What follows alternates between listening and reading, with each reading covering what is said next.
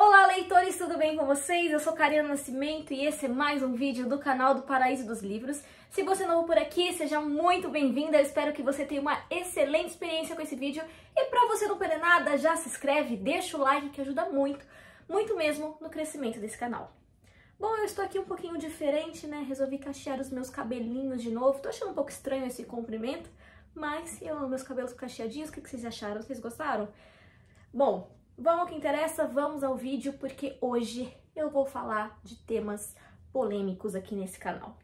Eu vou trazer para vocês as séries que eu iniciei, mas que eu não finalizei e que eu pretendo concluir em 2025. Final de ano chegando, tá na hora de fazer a meta literária, mas antes eu fiquei de olho nos livrinhos que eu iniciei leituras aí ao longo dos anos e eu não concluí. Então hoje eu estou aqui com uma listinha destas séries para falar para vocês quais serão as minhas leituras a serem concluídas aí em 2025. Vem comigo! Eu já vou iniciar pelo mais antigo desta lista, que eu li há muito tempo, eu li muito empolgada. Eu tenho todos os livros desta série de Chris Colfer e eu estou falando de Terra de Histórias. Eu ganhei esse livro de presente do meu marido há muito tempo atrás. Eu lembro, lembro que ele me levou numa saraiva lindíssima. Ele falou, amor, escolhe um livro. E eu fui direto nesta belezinha. Pra quem não sabe, eu era muito fã da série Glee, onde o Chris Colfer atuava, né, como o Kurt e eu gostava muito desse personagem. Então, quando ele falou que ia lançar sua série de livros, eu fui correndo comprar o seu livrinho, li esse livro inteirinho, amei a história desses dois irmãos que acabam entrando em um conto de fadas. Aqui a gente vai ter uma releitura dos clássicos, como Branca de Neve, entre outras princesas. E foi bem interessante essa leitura, eu gostei bastante, eu gosto de livros de fantasia, para quem acompanha o Paraíso dos Livros sabe disso, que o maior foco dos livros aqui são os livros de fantasia, eu gosto bastante. E esse livrinho aqui, gente, é uma delícia de ler, que livrinho leve, rápido. E até hoje eu não entendo por que, que eu não concluí essa série. Eu quero muito ler os próximos livros de Terra de História. Esse livro eu já emprestei para algumas crianças, já foi, já voltou várias vezes.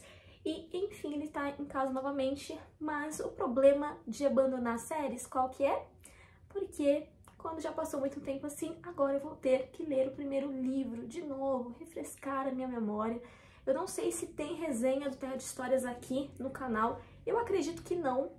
Então, se eu fizer essa releitura novamente, eu vou colocar a resenha aqui e espero sim concluir a leitura dos demais livros, porque essa história, o primeiro livro, é incrível e eu tenho certeza que os outros livros também devem ser.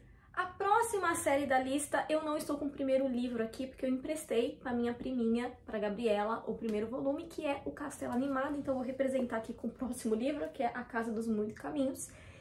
Esta série, eu li o Castelo Animado, gente, eu amei, eu fiquei de ver a animação e eu não vi, não assisti e assim eu não passei para os demais volumes. São apenas três livros que vem neste boxinho lindo aqui e eu não concluí, não segui a leitura. Castelo Animado é uma leitura super leve, super gostosa, aquela leitura que é para você ser feita assim quando você tem uma ressaca literária, sabe? Que você pega o livro e fala, não, vou ler uma coisa mais boa, mais tranquila aqui, aquela fantasia leve. Eu gosto bastante, sempre que eu tenho oportunidade, quando eu posso, eu Indico este livrinho para crianças, é uma leitura super tranquila, mamães, para fazer com seus filhos. Então, eu tô devendo esta leitura dos demais livros para vocês, porque eu já fiz a resenha do Castelo Animado aqui no canal. Se você quiser conferir, eu vou deixar o link aqui na descrição. A próxima série, gente, eu já tô rindo, porque tá dando até nervoso, porque esse é um dos livros mais antigos da minha estante. Esse ano eu peguei o livro para ler novamente e abandonei no comecinho, que foi uma dó. E eu espero, sim, reler A Maldição do Tigre. Gente, para mim é uma questão de honra ler esse livro novamente. Você não tá entendendo? Eu tenho todos os livros da Maldição do Tigre aqui. Eu fiz a leitura há muito tempo. Há muito tempo desse livro. Gente, esse livro já saiu de linha, já voltou novamente pro mercado e a pessoa não concluiu a série. Isso é uma vergonha para esse canal, entendeu? Eu tô precisando pegar esse livrinho aqui e concentrar só nele. Vai ser o jeito, vai ser isso que eu tenho que fazer. E espero sinceramente que em 2025 eu conclua esta série, trazendo aí todas as resenhas para vocês, porque eu acho que a Maldição do Tigre merece. Eu sei que essa história é incrível. A história, acho que é da Cassie, Cassie, isso, da Cassie e do tigre aqui, né, que tem uma maldição envolvendo príncipes. Então, gente, eu quero muito concluir essa leitura, vocês não têm ideia. Espero muito fazer isso em 2025 para trazer todas as resenhas e falar todos os detalhes aí para você que é fã desta série e para você também que quer conhecer essa história. Gente, o próximo livro dá um pouquinho de dó. Eu acho que eu vou pegar as minhas resenhas aqui que já estão prontas no canal e assistir os meus próprios vídeos para recapitular e voltar aí para dentro dessas histórias, porque eu lembro que eu amei esse livro. Eu tô vendo aqui que é a história da Laia e do Elias, que nenhum dos dois estão livres e são presos aí com regras e regimes por conta de um império. Gente, eu amei esse livro e agora poucas informações estão na minha mente sobre ele, o que é uma dó. Fiz muitas marcações, dá pra vocês verem, ó. Fiz muitas marcações nesse livro, eu realmente gostei muito. Eu tenho todos os livros da série. Eu lembro que quando eu terminei essa leitura, eu falei, nossa, que livro incrível. Eu quero dar Sabatari. Eu quero muito terminar esta leitura e ver tudo que vai acontecer nessa série. Tava empolgadíssima, gente. Como eu tava empolgada quando eu terminei esse livro. E aí o tempo foi passando, eu não li. E agora a gente vai fazer o quê?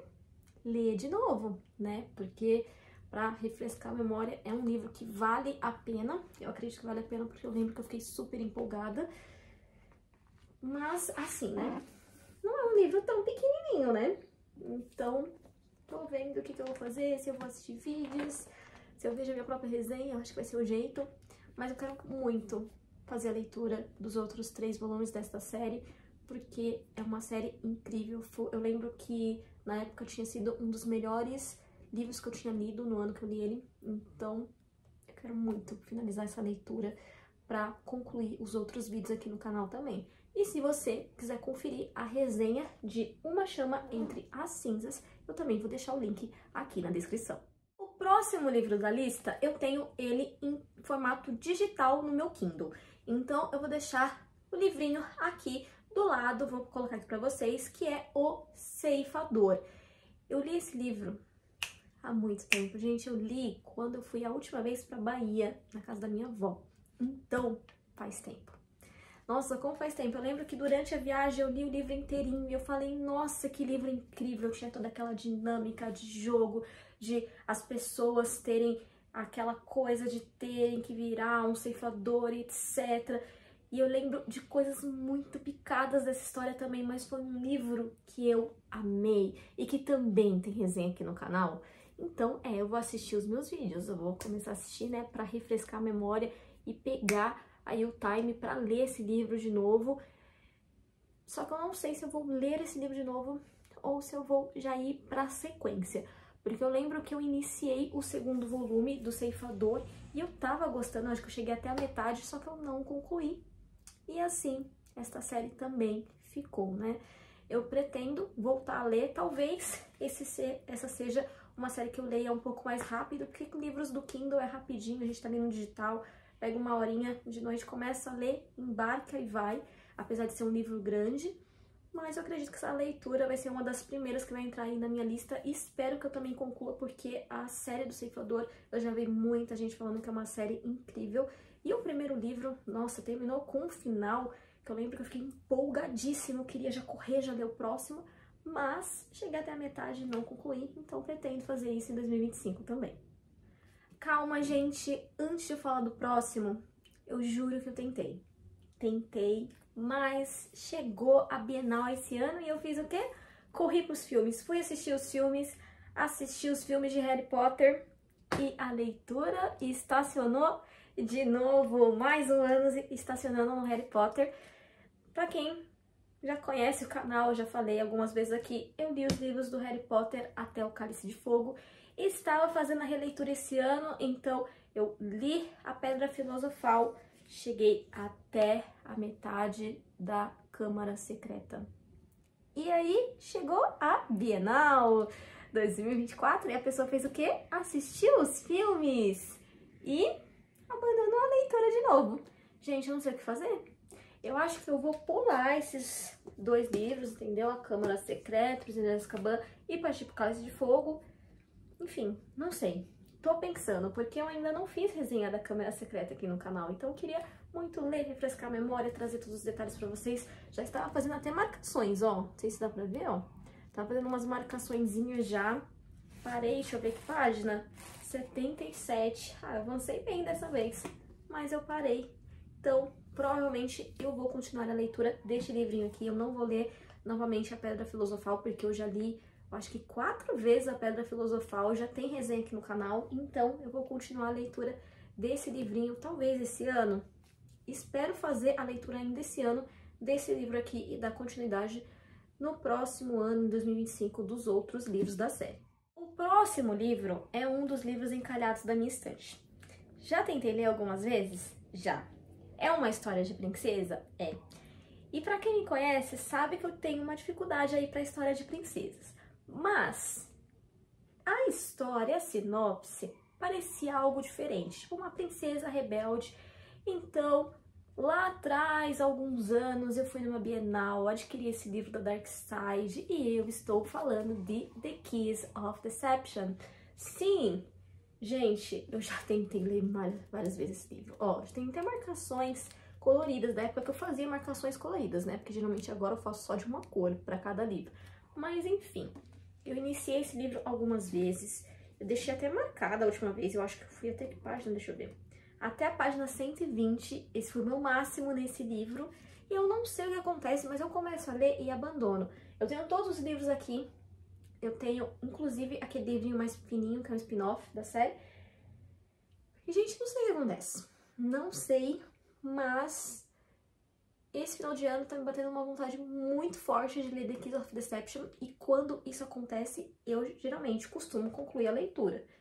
Se vou fazer isso, vou contar pra vocês em breve, porque nesse momento eu tô fazendo um vídeo em formato de vlog com as leituras dos últimos meses, mas esse livro tem uma chance aí de entrar nas leituras de dezembro.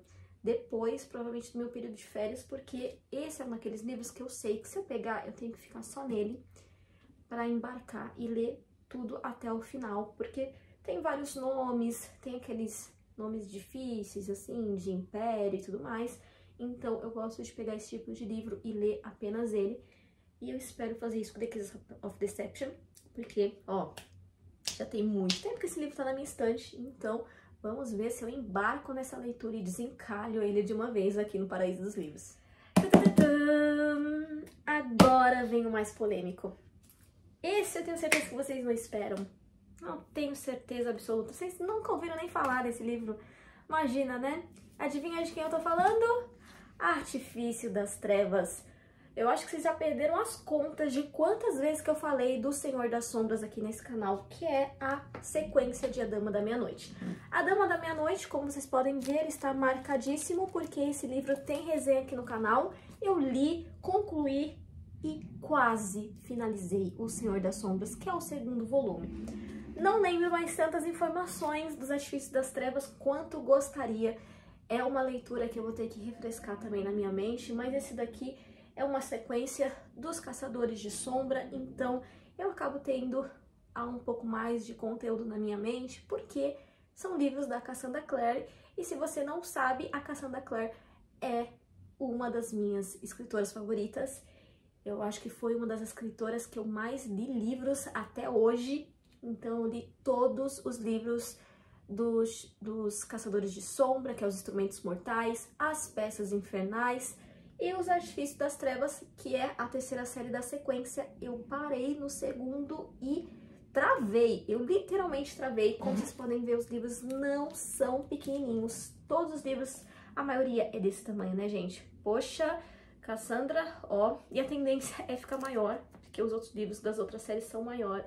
As últimas horas eu também já tenho os livros, mas eu preciso destravar o Senhor das Sombras, então eu quero fazer isso também em 2025. Pretendo, espero que eu consiga, porque Cassandra Clare precisa dar uma atualizada aqui na playlist. Se você gosta de Cassandra Clare, aqui no Paraíso dos Livros, eu tenho uma playlist com todos os livros que eu já li da autora, então vale a pena conferir. Eu falo com detalhes, com riqueza de detalhes, todos os livrinhos que eu li até hoje. Então fica a dica e eu espero aí fazer essa leitura em breve, enfim, dar continuidade nesses livrinhos dessa autora incrível. Bom, leitores, e essas foram as oito séries que eu pretendo concluir em 2025. É bastante coisa? É bastante coisa, mas eu concluí pelo menos três delas, eu já vou ficar super feliz, porque são séries, como eu disse, que estão há muito tempo paradas aqui no Paraíso dos Livros, né? Tem séries que tem os vídeos do primeiro livro, mas não tem a sequência. Então quero deixar tudo concluidinho aqui neste canal para que você possa aproveitar o melhor de todos esses livros e saber tudo a respeito deles. Em breve eu também estou pensando em fazer um vídeo aqui falando para vocês de todas as séries que eu li e concluí, mas eu ainda não comentei aqui no canal do Paraíso dos Livros. Se você gosta dessa ideia, deixa aqui nos comentários para eu saber o que você acha. E se você tiver alguma sugestão de vídeo que você gostaria de assistir por aqui, também deixa os comentários, eu vou adorar saber.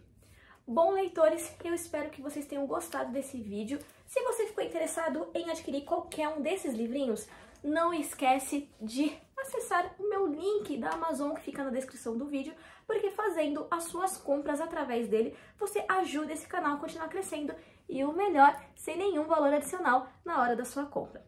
Bom, eu vou ficando por aqui. Eu espero que você tenha gostado do vídeo. Se você curtiu, deixa o joinha, compartilha, se inscreve no canal e ativa o sininho para receber a notificação dos meus próximos vídeos. Um grande beijo e até a próxima!